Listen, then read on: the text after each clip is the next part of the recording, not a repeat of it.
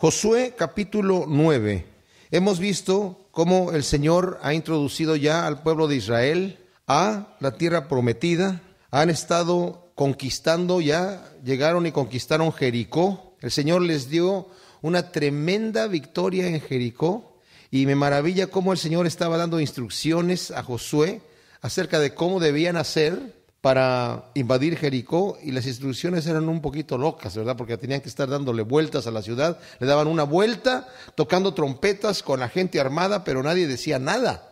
Porque el Señor les dijo, no, no digan palabra ninguna. Daban la vuelta y se iban a su casa. Y la gente de Jericó no sabía ni, no entendían la estrategia militar, ¿verdad? Lo que sí sabían es que el Señor había secado ya el, el río Jordán de una manera impresionante para que pasara el pueblo y eso también al pueblo de Israel le, da eh, confianza en la mano de Dios.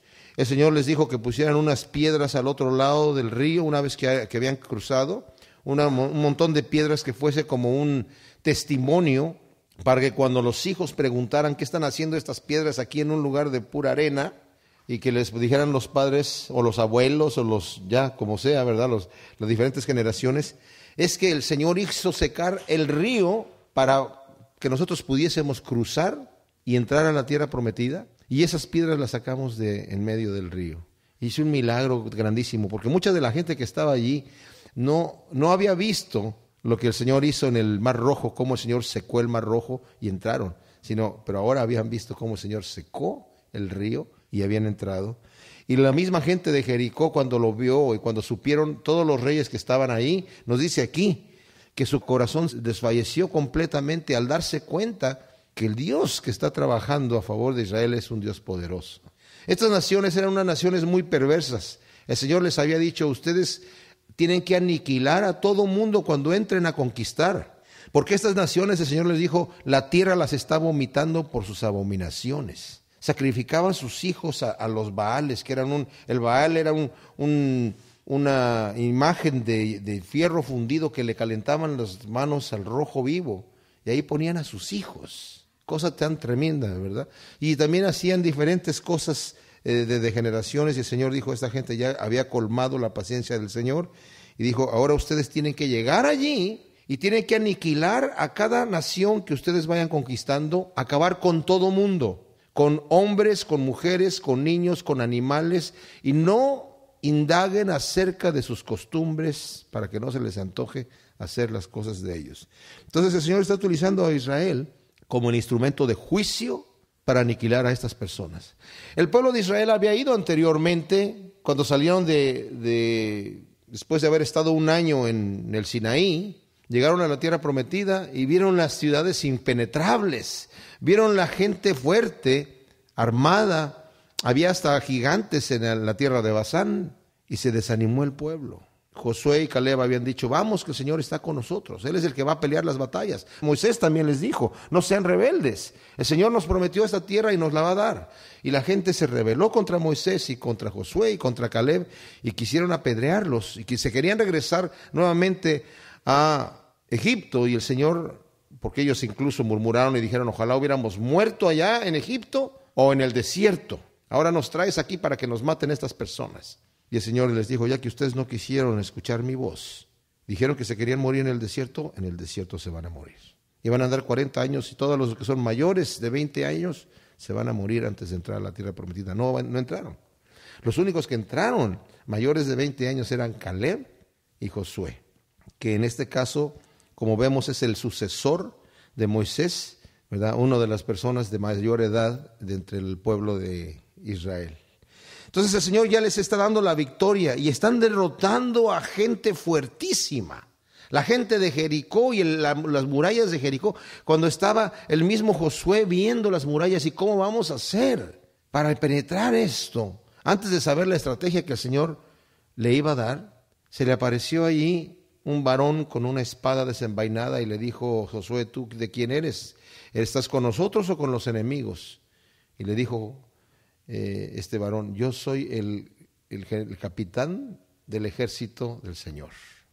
Entonces Josué se postró, lo adoró y vemos que este era una teofanía, una cristofanía, Cristo mismo representado allí porque solamente Dios se deja adorar en la Biblia, los ángeles no.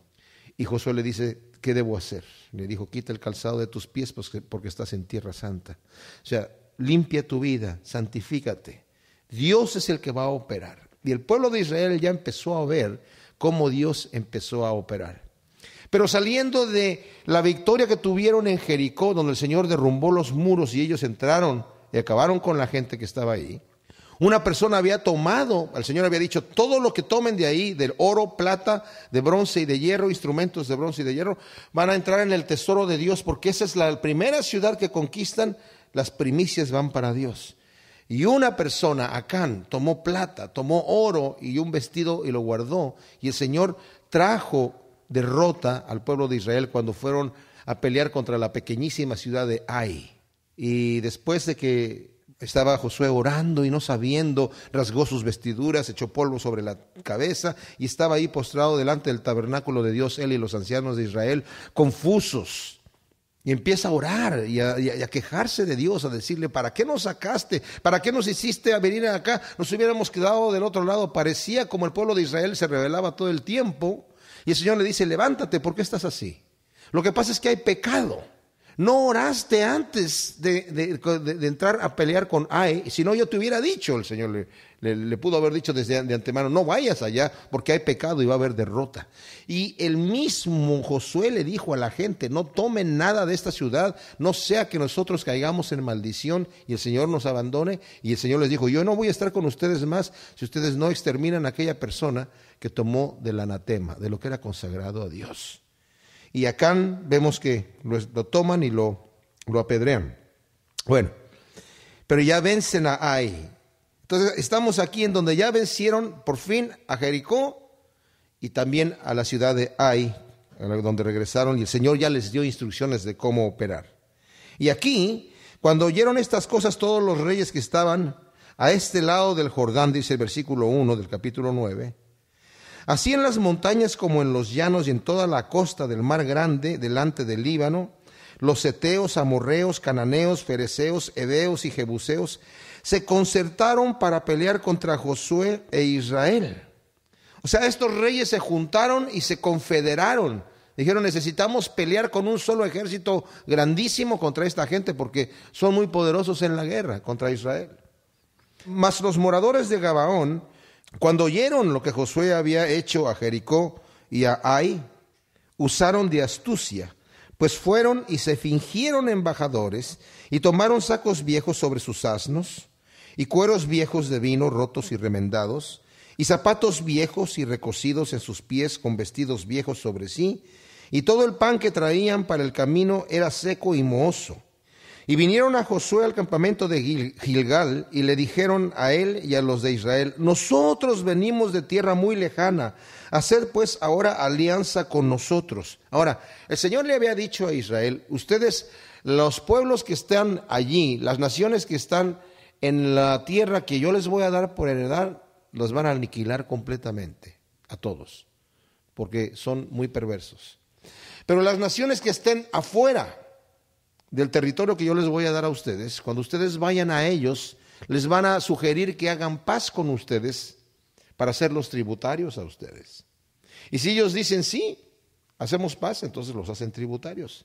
Y si dicen que no, entonces hacen guerra contra ellos, pero no pueden, no aniquilen a toda la gente, solamente a los varones de guerra, que vayan a hacer guerra contra ellos. Entonces, esta gente de Gabaón están diciendo, nosotros hemos, venimos de muy lejos porque hemos oído de la fama de Dios, ¿verdad? Y, queremos hacer paz con ustedes y queremos ser sus siervos. Ellos de alguna manera se enteraron que el Señor le había dado estas instrucciones a Moisés y Moisés después se las eh, dejó al pueblo de Israel. Y los de Israel respondieron a los hebeos, quizás habitáis en medio de nosotros, ¿cómo pues podremos hacer alianza con vosotros? Notemos que dice que le, responde a los hebeos. Y cuando nosotros vemos en el versículo primero de este, de este capítulo 9, dice que se habían juntado eh, los, los eteos, los amorreos, los cananeos, los fereceos, los heveos y los jebuseos. O sea, esta gente de Gabaón se habían ya juntado con todos estos reyes y dijeron, ok, vamos a salir a pelear contra Israel. Pero esta, esta gente de, Gabaón dijeron, no, no, no, mejor nosotros vamos a, fingirnos eh, que venimos de una tierra muy lejana y vamos a mejor hacer la paz con ellos, porque ellos sabían que tenían la victoria perdida, ellos tenían fe, como Raab ¿verdad? De que Dios iba a poder darles la victoria al pueblo de Israel. Entonces dijeron, mejor nosotros vamos a hacer eso. Entonces ellos respondieron, dice, ¿cómo podemos saber que ustedes no están entre nosotros, que son nuestros vecinos? Y, así como haríamos alianza con ustedes. Ellos respondieron a José, nosotros somos tus siervos. Y Josué les dijo, ¿quiénes sois vosotros y de dónde venís? Ellos respondieron, tus siervos han venido de tierra muy lejana por causa del nombre de Jehová tu Dios porque hemos oído su fama y todo lo que hizo en Egipto, y todo lo que hizo a los dos reyes de los amorreos que estaban en el otro lado del Jordán, a Seón, rey de Esbón, y a Og, rey de Basán, que estaba en Astarot. Por lo cual nuestros ancianos y todos los moradores de nuestra tierra nos dijeron, tomad en vuestras manos provisión para el camino e id al encuentro de ellos y decirles, nosotros somos vuestros siervos, haced ahora alianza con nosotros. Ahora, notemos ¿Qué le está diciendo? Hemos oído la fama del Dios de Israel. La hemos escuchado. Y venimos de tierra muy lejana. Con mucha astucia estos hombres no mencionan Jericó ni Ai. Porque se supone que si vienen de una tierra muy lejana, caminando por muchos días, durante el camino no se enteraron, bueno, se supuestamente, ellos ya sabían, pero no se hubieran enterado de lo que pasó, de cómo el Señor secó el, Jordán y cómo entraron a Jericó y acabaron con Jericó y con Ai. Pero sí escucharon de las otras batallas que hubo justamente antes de eso, en donde este rey Seón y, el rey Og se levantaron para pelear contra Israel cuando antes de que cruzaran el Jordán y el Señor los derrotó. Entonces dice, hemos escuchado eso, de lo que hizo el Señor con esta gente. O sea que el argumento es bien convincente. Me maravilla. Dice, bueno, dice, este nuestro pan lo tomamos caliente de nuestras casas para el camino el día que salimos para venir a vosotros y helo aquí, ahora ya seco y mohoso. Estos cueros de vino también los llenamos nuevos, helos aquí ya rotos y también estos nuestros vestidos y nuestros zapatos están ya viejos a causa de lo muy largo del camino. Y los hombres de Israel tomaron de las provisiones de ellos y no consultaron a Jehová. Wow, otro error gravísimo. Está diciendo José, ¿y cómo sabemos si ustedes no son nuestros vecinos? Pues es fácil, es fácil saber. Pregúntale a Dios. Ya te diste cuenta que al entrar a Ai a pelear, al no consultar a Dios, hubo una gran derrota. Y aquí el general y los ancianos, el general Josué y los ancianos de Israel van a hacer una cosa terrible, una equivocación terrible. No consultar a Dios en una cosa tan vital como esta. Porque el Señor les dijo, si ustedes no derrotan a todo mundo en el momento que entren a esa tierra que yo les voy a dar, la gente que dejen con vida los va a pervertir.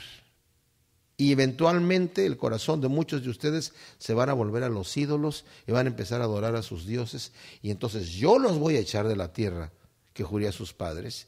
Y yo me voy a encargar de hacer juicio contra ustedes. La cosa era terrible. Entonces aquí era algo tan sencillo. Pero ¿saben qué? A veces nosotros somos así. A veces nosotros decimos, esto no hay que preguntarle a Dios. Es obvio. Esto no, no, tiene ni, ni vuelta de hoja. Aquí estoy viendo que, el pan es mohoso. ¿Quién va a andar con un pan mohoso en el camino? Con esos zapatos remendados, con los vestidos viejos, con cueros rotos.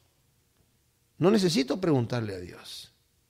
Y saben que el Señor quiere que nosotros eh, estemos constantemente conectados con Él. De ahí que dice Pablo, orad sin cesar. Creo que yo les he compartido el, el detalle de una vez estaba yo tratando de comprar equipo de grabación cuando recién empecé a comprar equipo para yo hacer mis propias grabaciones de música. Y estaba entre comprar no sabía, tres máquinas para grabar, no sabía cuál de ellas comprar. Y cada uno decía, de, los, las personas que los manufacturaron, porque en ese momento había un show allá en Anaheim, eh, el NAM Show que se llama, de todos los equipos e instrumentos musicales habidos y por haber que estaban ahí. Entonces estaba yo viendo los equipos y, y estaba confundido porque cada uno decía que su máquina era la mejor.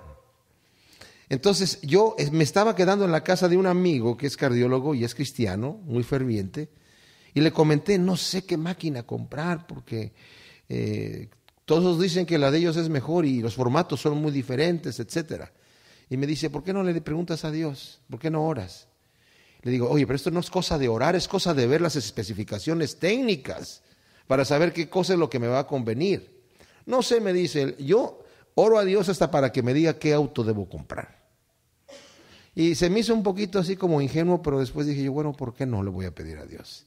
Entonces le dije, Señor, si, si quieres, muéstrame qué máquina debo comprar. Ese show era por cuatro días y yo ya había ido los, los primeros tres días y el último día justamente voy entrando al lugar y había muchas revistas que estaban regalando y en la portada de una de las revistas decía la comparación de la máquina fulana, sutana y mengana. De las tres que yo estaba considerando, había un artículo que las comparaba a las tres. Y lo leí el artículo y, me, y supe cuál era la que yo necesitaba. Y cómo el Señor responde, ¿verdad? Cuando uno busca su rostro, el Señor no dice, óyeme, no me molestes con cosas tan pequeñas. Venía a molestar cuando, cuando sea algo importante. Porque a veces tenemos ese tipo de pensamiento. Ay, no quiero molestar a Dios. Dios no se molesta absolutamente con nada. Y a veces lo que las cosas que nos parecen tan obvias y, e insignificantes como esto que estaba pasando aquí, va a venir a ser algo tremendo para el pueblo de Israel. Vivían estos hombres exactamente en medio del territorio de Israel, en medio, justo en el medio.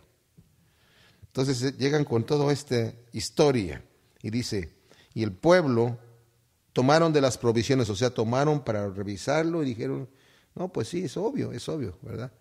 Entonces, y no consultaron a Dios. Y Josué hizo paz con ellos y celebró con ellos alianza, concediéndoles la vida, y también lo juraron los príncipes de la congregación. No solamente hizo la paz, sino también se hizo aliado de ellos. O sea, en el momento que ustedes vayan a la guerra, nosotros estamos ahí para ayudarles.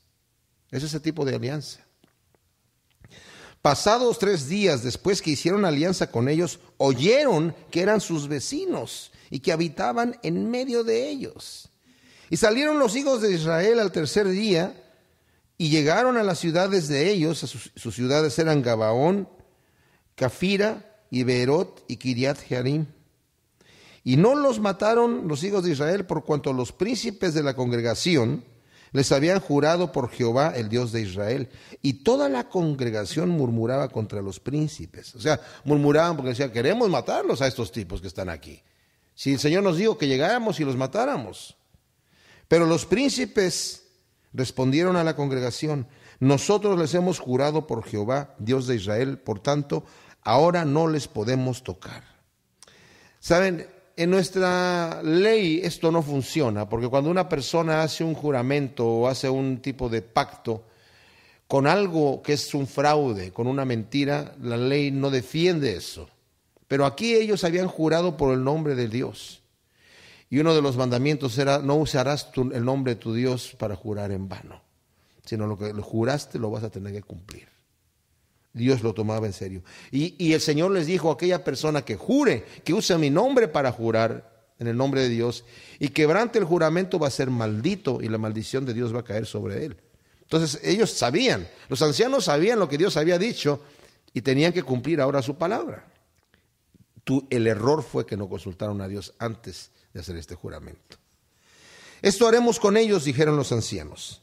Les dejaremos vivir para que no venga ira sobre nosotros por causa del juramento que hemos hecho. Dijeron pues de ellos los príncipes, dejadlos vivir, y fueron constituidos leñadores y aguadores para toda la congregación, concediéndoles la vida, según les había prometido los príncipes. Y llamándolos Josué les habló diciendo, ¿por qué nos habéis engañado diciendo, habitamos muy lejos de vosotros, siendo que moráis en medio de nosotros?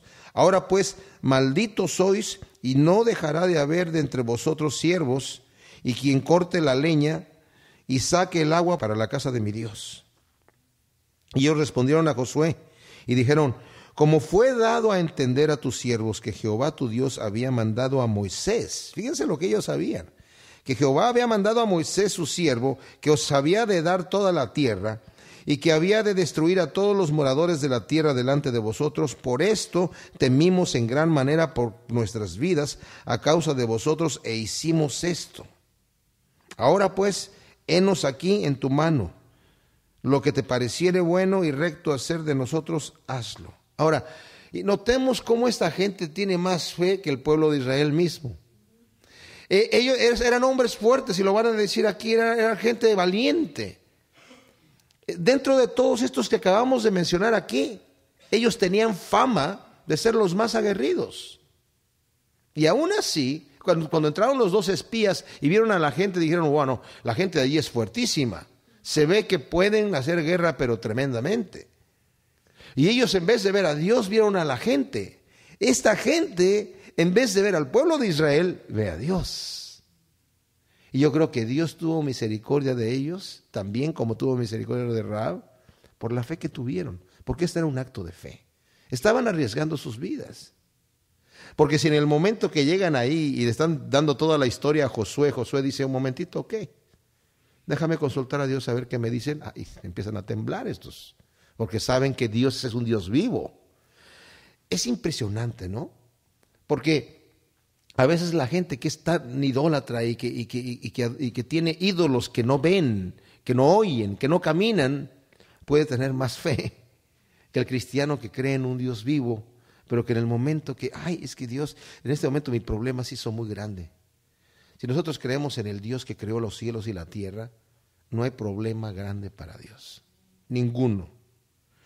Dice entonces, haz lo que quieras con nosotros. Y Él lo hizo así con ellos pues los libró de la mano de los hijos de Israel y no los mataron. Y Josué los destinó aquel día a ser leñadores, aguadores para la congregación y para el altar de Jehová en el lugar que Jehová eligiese, lo que son hasta hoy.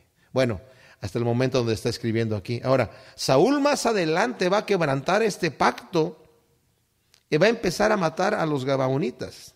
No los va a exterminar completamente, pero casi los va a exterminar. Y cuando muere Saúl, los gabaonitas van a llegar delante de David y, les van a decir, eh, porque, porque había una maldición para el pueblo de Israel y empezaron a perder batallas y, el Señor les habló, es porque Saúl hizo esta, eh, quebrantó el pacto con los gabaonitas que habían hecho vuestros padres.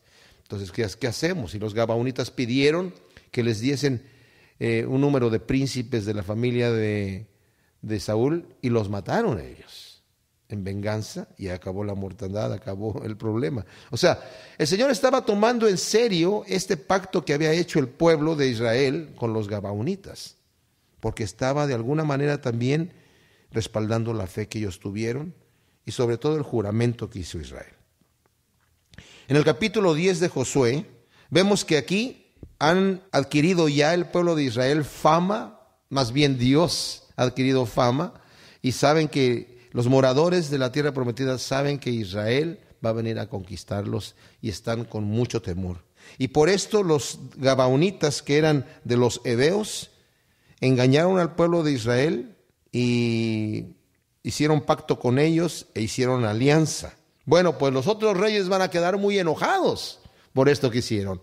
Van a quedar completamente enojados porque Israel hizo ese pacto con con Josué porque ellos querían destruirlos. Entonces dice aquí cuando Adonisedec, rey de Jerusalén, oyó que Josué había tomado a Ai y que la había asolado como había hecho a Jericó y a su rey, así hizo a Ai y a su rey, que los moradores de Gabaón habían hecho paz con los israelitas y que estaban, que estaban entre ellos ya, tuvo gran temor porque Gabaón era una gran ciudad como las grandes ciudades reales y mayor que hay, y todos sus hombres eran fuertes, o eran valientes, o eran aguerridos. O sea, este rey de Jerusalén que entre paréntesis Jerusalén no la toman, no la va a tomar, no la van a conquistar todavía. ¿Saben hasta cuándo se conquista Jerusalén? Hasta el tiempo del reinado de David. Por la posición que tenía especial, estaba muy protegida, pero no intentaron tampoco conquistarla, porque me imagino que si intentan conquistarla, el Señor también se las entrega. Pero en el tiempo de David, eh, derrotan a los jebuseos que eh, vivían allí en Jerusalén. Ahora es interesante este nombre Adonisedec. Vemos nosotros que hay otro rey de Jerusalén anteriormente que se encuentra con Abraham, ¿verdad? Y es Melquisedec. Melqui quiere decir eh, rey, Sedec de justicia. Este se llama Adonisedec. Adoní es de Adonai, que quiere decir señor de justicia. Pero no, no porque fuera justo, porque vamos a ver que este hombre no era para nada justo. Pero es interesante, ¿no? Y también es interesante mencionar que el nombre de la ciudad Jerusalén significa lluvia de paz. Porque también dice Melquisedec, rey de Salem o de Jerusalén, ¿verdad? Rey de paz. Así que la ciudad eh, significa lluvia de paz, como detalle ahí. Entonces, está enojado este rey, dice, y por lo cual Adonisedec, rey de Jerusalén, envió a Oram, rey de Hebrón, y a Piream, rey de Jarmut, y a Jarfa, rey de Laquis, y a Debir, rey de Eglón, diciendo, subid a mí y ayudadme, y combatamos a Gabaón, porque ha hecho paz con Josué y con los hijos de Israel. Y cinco reyes de los amorreos, el rey de Jerusalén, el rey de Hebrón, el rey de Jarmut, el rey de Laquis y el rey de Eglón, se juntaron y subieron ellos con todos sus ejércitos y acamparon cerca de Gabaón y pelearon contra ella. O sea, bajo un solo mando juntaron un ejército innumerable para pelear y para darles una lección a los gabaonitas porque se sintieron traicionados por los gabaonitas. Los gabaonitas estaban tratando de defenderse ellos mismos, obviamente, estaban tratando de ver por su propio bien, pero también saben qué podemos ver aquí, el corazón no arrepentido de esta gente. En el momento donde los gabaonitas, dijeron, nosotros nos vamos a hacer sus siervos, ellos estaban también diciendo, vamos a acatar sus leyes, vamos a vivir como ustedes nos digan.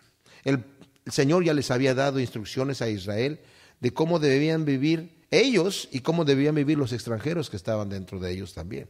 O sea que los gabaonitas se rindieron a la voluntad del pueblo de Israel y se estaban sometiendo también a la voluntad de Dios. Pero estos reyes, otros, no estaban dispuestos a arrepentirse, estaban dispuestos a guardar su terreno. Y muchas veces, ¿cómo vemos nosotros cuando el Señor empieza a tocar el corazón de alguien? Que dicen, yo prefiero la desgracia, prefiero el, el oprobio, pero no voy a dejar mi pecado, no voy a dejar de vivir como vivo.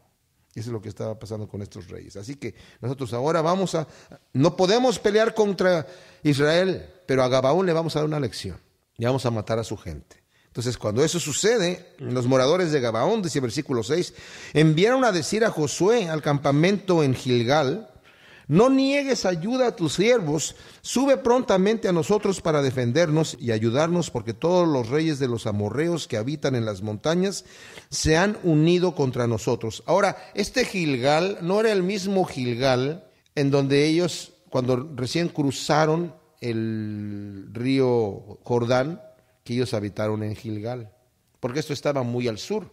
Ahora ellos ya han estado subiendo más hacia el norte y no se van a regresar al sur para habitar allá. Van, la congregación va, continúa todavía ascendiendo.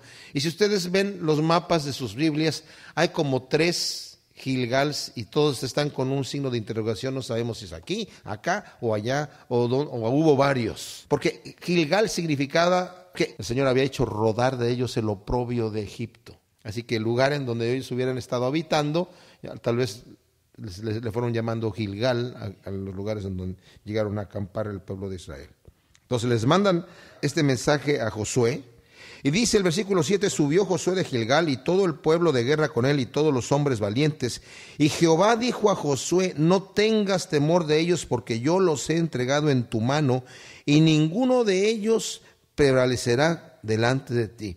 El Señor ya había hecho esta promesa a Josué referente a todo el territorio que el Señor les iba a dar. No le dijo, yo te lo voy a entregar, ya te lo he entregado, es tuyo. Tú lo único que tienes que hacer es llegar y poseerlo.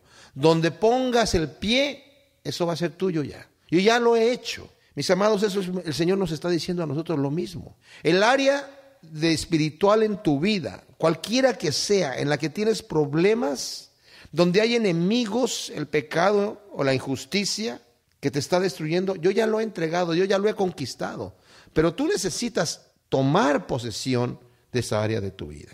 Les compartía yo que en el libro de Job, el Señor le dice a Job, ¿ya consideraste a mi siervo Job, varón perfecto y recto, temeroso de Dios y apartado del mal? La palabra considerar es una palabra militar que significa ya lo escudriñaste, ya lo estudiaste bien para derrotarlo. Y comentábamos que el diablo es así con cada uno de nosotros. Nos estudia, nos analiza, nos cataloga y nos dice, eh, ya sé cómo hacerle para que este amigo caiga. Le aprieto aquí, aquí y aquí ya está listo. Si Él nos estudia, nosotros debemos estudiarnos también. El Señor nos da la sabiduría. El Señor dice, el que piense estar firme, mire que no caiga. No proveas para la carne. Si ya sabes que al, al, irte para allá vas a caer, no te vayas para allá. Ya sabes que al tomar esto vas a caer, no tomes eso, no proveas para la carne. No proveas y digas, no, pero yo no voy a caer, porque nos engañamos a nosotros mismos. El diablo ya nos tiene estudiado. Y el Señor ya nos ha dicho, cualquier cosa donde pongas tu mano, te voy a dar la victoria. Por eso, ahora que entremos al libro de Apocalipsis, nos vamos a dar cuenta que el Señor les, nos exige a todas las iglesias y a nosotros que venzamos. No es opcional. Él ya nos dio la fuerza. Él ya ganó la victoria. Y si nosotros no vencemos, es nuestra culpa. No tenemos excusa. Cristo murió por todos los pecadores, eso lo sabemos, pero no todos se van a ir al cielo. ¿Por qué? Porque la persona que solamente la que recibe a Cristo como su Señor y Salvador, es a esa persona a la que se le imputa el perdón de Dios. De la misma manera, el Señor ya nos dio victoria sobre todas las áreas de nuestra vida.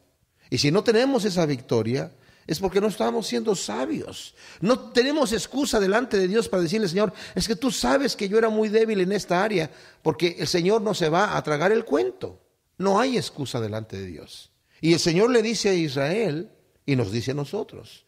Yo no voy a habitar con ustedes cuando haya maldición, anatema, pecado en medio de ustedes. Los voy a abandonar. A veces cuando nos sentimos abandonados de Dios es porque la Biblia dice que el pecado hace separación entre Dios y nosotros. Y no pensemos que Dios, que sea, ah, es que yo soy cristiano, la sangre de Cristo me cubre y todo eso, y ahora puedo pecar como yo quiera. Al fin y al cabo que la sangre de Cristo me cubre. El Señor dice que no es así, no es así. Eso es un insulto a la sangre de Cristo. Ese es un insulto a la obra que Dios está haciendo. Dios, mis amados hermanos, no nos equivoquemos, quiere cambiarnos y quiere santificarnos. Dios quiere hacer una obra en nosotros, quiere que lleguemos a la estatura de Cristo Jesús y va a dar va a haber un día en donde nos vamos a presentar delante de nuestro Dios y vamos a entregar cuentas. Por eso dice la palabra de Dios, mientras escuches hoy su voz, no endurezcas tu corazón como los israelitas en el día de la provocación que vieron las maravillas de Dios y se confiaron. Ajá, ya salimos nosotros de Egipto, ahora vamos a la tierra prometida, está todo ganado. Dice, todos salieron de Egipto, pero no todos entraron en la tierra prometida. Aunque cruzaron el mar, no entraron en la tierra prometida. Aunque comieron el maná, no entraron en la tierra prometida. Aunque no se les desgastó el, el calzado ni la ropa, y Dios, y bebieron del agua de la roca, la mayoría de ellos, dice la Biblia, no entraron en el reposo de Dios. ¿Por qué? Por pecado por rebelión. Y ese es lo único que nos mantiene a nosotros lejos de conquistar las áreas de nuestra vida, el pecado y la rebelión, porque Dios tiene la victoria ganada. Entonces aquí le dice, no tengas ningún temor porque yo ya los he entregado en tu mano. Y Josué vino a ellos de repente, habiendo subido toda la noche desde Gilgal, y Jehová, o sea, toda la noche, imagínense, estaba un poquito lejos, toda la noche anduvo caminando y llegó hasta donde estaban estos reyes allá en Gabaón, y Jehová los llenó de consternación delante de Israel, o sea, se confundieron y con mucho temor, y los hirió con gran mortandad en Gabaón, y los siguió por el camino que sube a Bet Orón, y los hirió hasta Aseca y Maceda. Y mientras iban huyendo de los israelitas a la bajada de Bet Orón, Jehová arrojó desde el cielo grandes piedras sobre ellos hasta Aseca, y murieron y fueron más los que murieron por las piedras del granizo que los que los hijos de Israel mataron a espada. Imagínense ustedes. O sea, están huyendo, Israel los está matando con espada y hay consternación, confusión. Y mientras van huyendo, Los que creen que ya se están escapando, el Señor les manda un granizo, me imagino el tamaño de pelotas de béisbol. ¡Pum! Y con eso están listos. Dice que fueron más los que murieron por el granizo que los que mataron a filo de espada. ¡Guau! Así como van a ganar, de ninguna manera.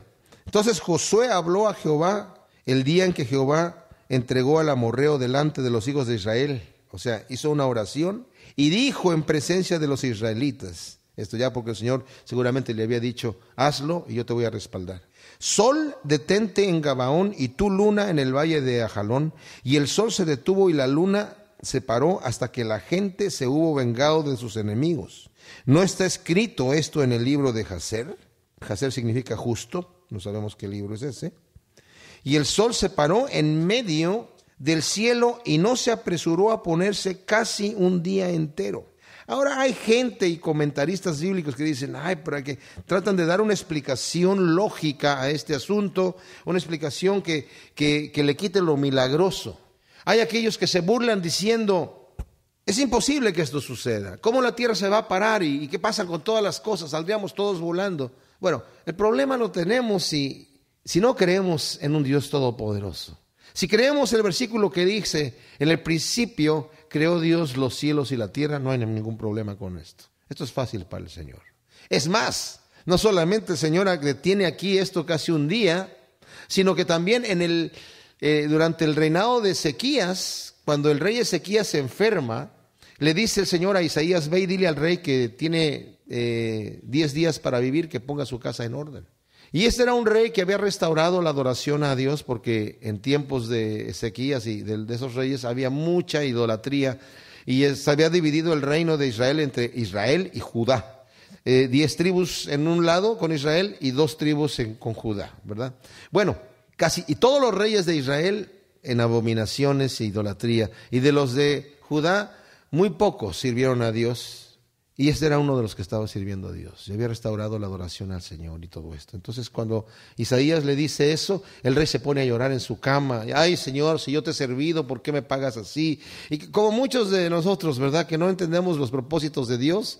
Y mientras estaba haciendo pucheros y estaba haciendo berrinche y estaba quejando delante del Señor, el Señor le dice a Isaías cuando iba saliendo, iba por el patio del, del palacio, mira, regrésate, dile al rey que, que, va a vivir otros 15 años porque el pobrecito está inconsolable, ¿verdad? Y ya regresa y le dice, dice Dios que vas a vivir otros 15 años. Y le dice que, que pidas una señal.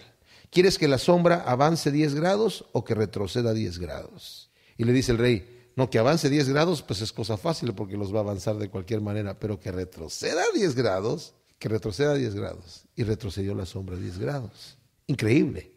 ¿verdad? Y también hay gente que dice, pero ¿cómo? ¿Cómo el Señor va a tomar de repente el planeta y le va a dar la vuelta así? Y luego otra vez. Bueno, si tenemos problema con eso es que no, no conocemos al Dios Todopoderoso.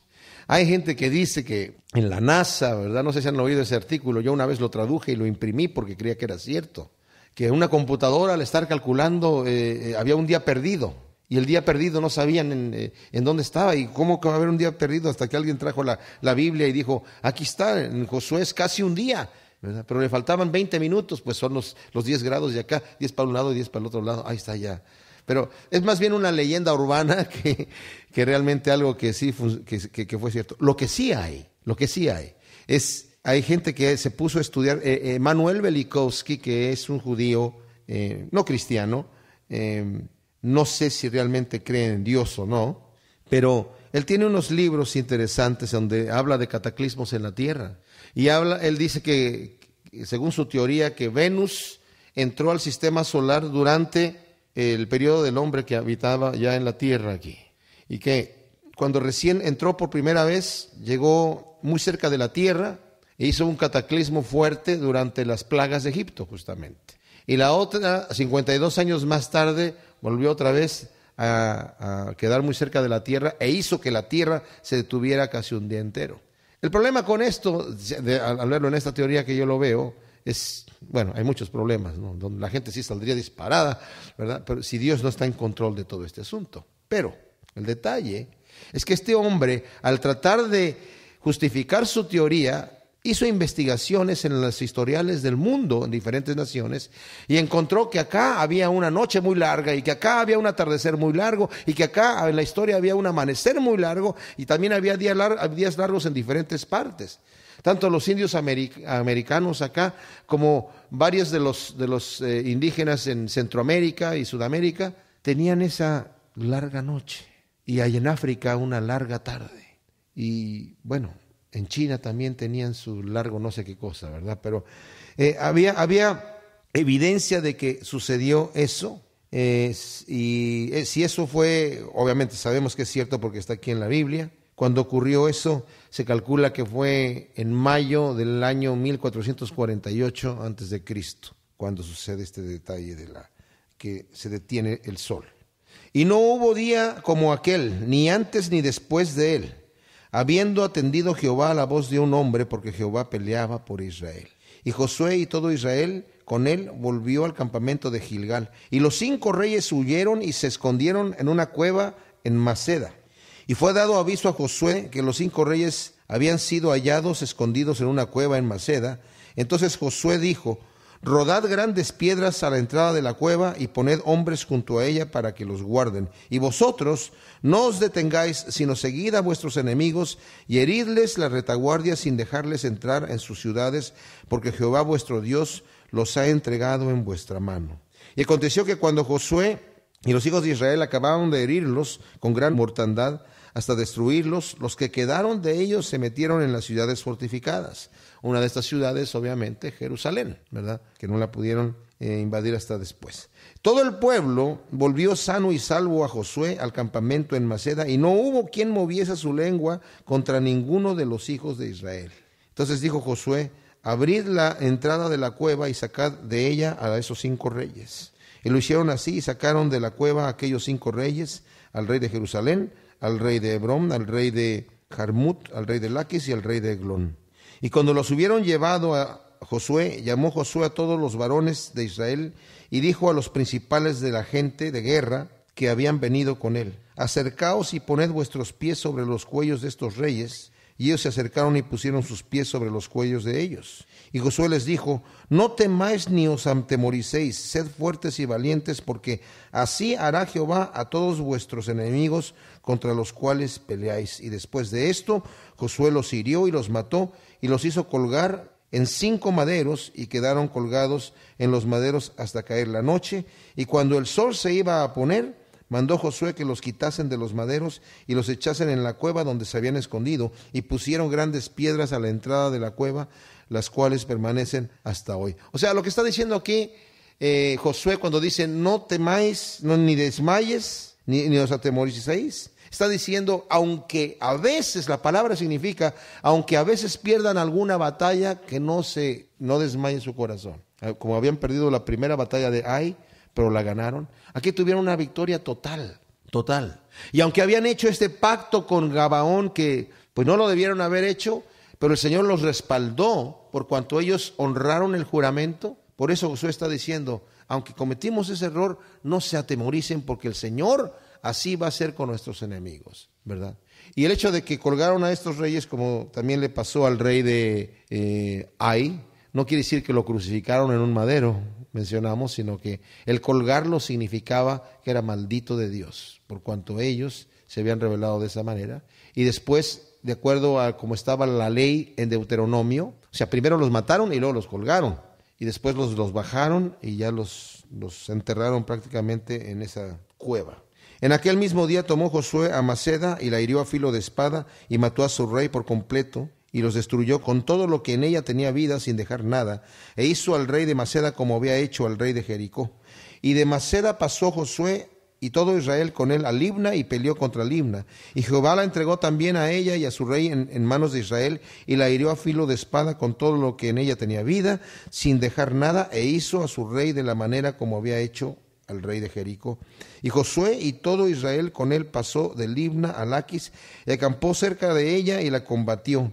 Y Jehová entregó a Laquis en mano de Israel y la tomó al día siguiente y la hirió a filo de espada con todo lo que en ella tenía vida, así como había hecho con Libna.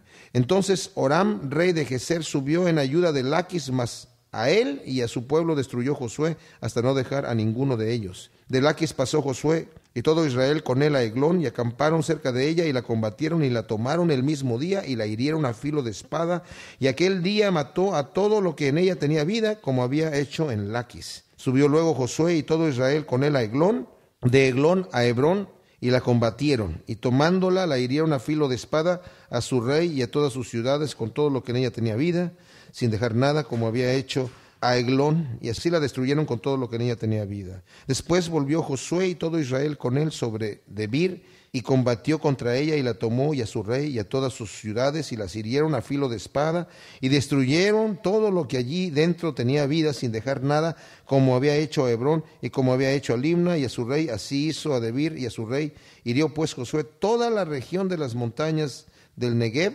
de los llanos y de las laderas y a todos sus reyes sin dejar nada. Todo lo que tenía vida lo mató como Jehová, Dios de Israel, lo había mandado. Y los hirió Josué desde Cades, Barnea, hasta Gaza, y toda la tierra de Gosén, este es otro Gosén, no, es, no lo confundamos con el Gosén de Egipto, hasta Gabaón. Todos estos reyes y sus tierras los tomó Josué de una vez, porque Jehová, el Dios de Israel, peleaba por Israel. Y volvió Josué y todo Israel con él al campamento en Gilgal. Eh, muy sangrienta la plática, ¿verdad?